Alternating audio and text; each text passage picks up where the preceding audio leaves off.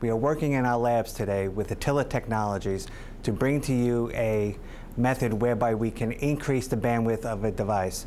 A typical device might have various interfaces within it, such as Wi-Fi, WiMAX, LTE, 3G, but all those interfaces work independently. We have a solution whereby through software we can aggregate data across all those interfaces simultaneously. We have a user laptop and a device which simulates what could be within that user's laptop.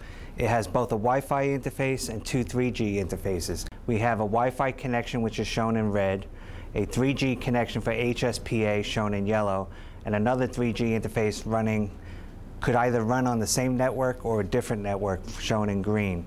And here we're showing very little on the green, but the, as you can see, the yellow and the red are transmitting data simultaneously. If we lost an interface, such as the Wi-Fi connection, and take that away, you can see it gets removed from the aggregation, and then the data picks up on the other interfaces automatically. So with that, the unit is dynamic in how it allocates in its resources, and we can manage the resources dynamically as we go forward.